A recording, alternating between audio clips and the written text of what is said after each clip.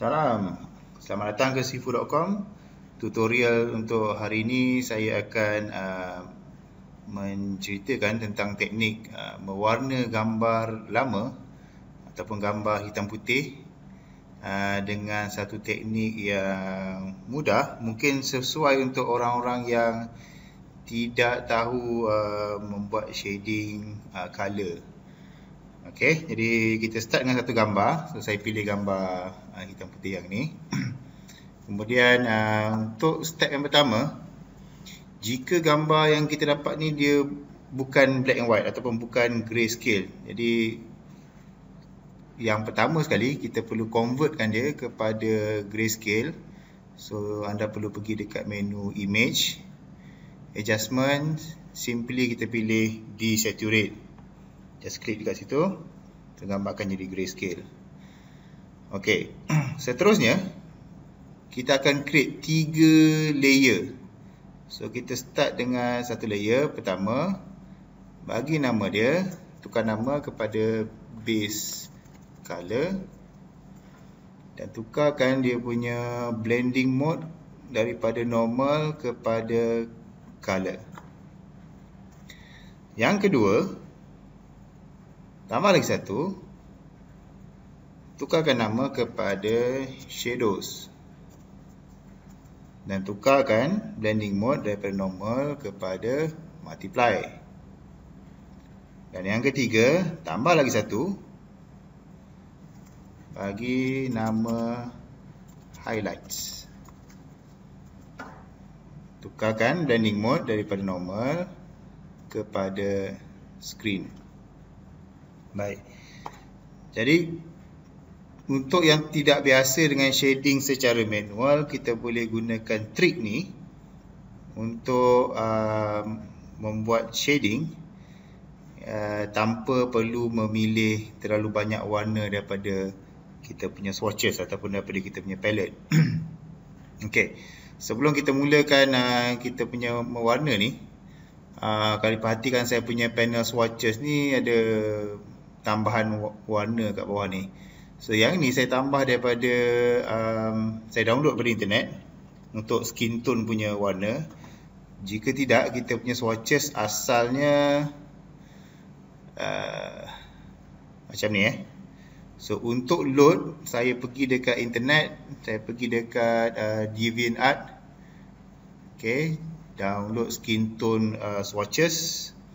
Klik dekat download lepas download kita uh, unzipkan dia. Okey so nanti dalam folder dalam yang yang selepas kita extract tu dia akan ada ni. Okey untuk uh, Photoshop yang latest simply kita double click saja. So saya ambil yang paling banyak ni expanded. Double click automatic dia load masuk dalam kita punya swatches. Okey eh So untuk start kita akan start dengan base color dulu. Baik. So first kita pergi dekat kita punya uh, brushes. Pilih brush yang sesuai. So let's say ambil brush yang soft kat sini. Okay. Uh, pilih brush yang soft. Kalau kita kalau you all ada uh, graphic tablet uh, lagi bagus. Mudahkan kita untuk mewarna. So untuk opacity maybe kita boleh start dengan uh, tak perlu 100% lah dalam 60-70% macam tu. okay. Kalau kita start dengan satu warna maybe ni muka orang putih, muka dia cerah sikit. So saya ambil warna yang cerah sikit. Let's say dekat uh, sini ke. Zoom kan.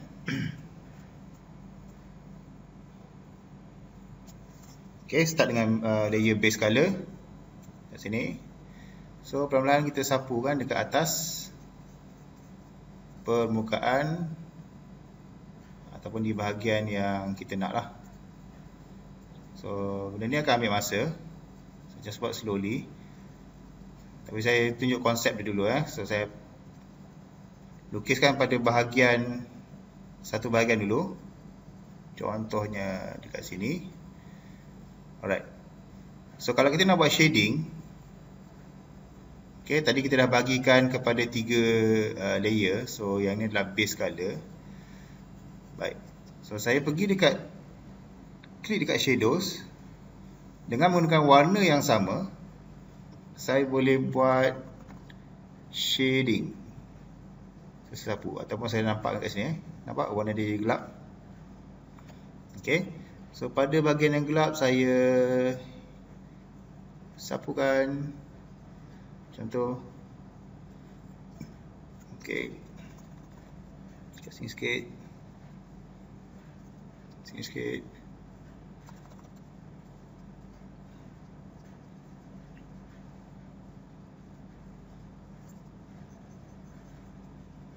Okey.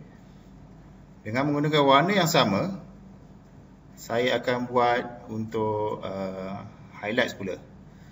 So tukarkan layer, so, pergi dekat highlight.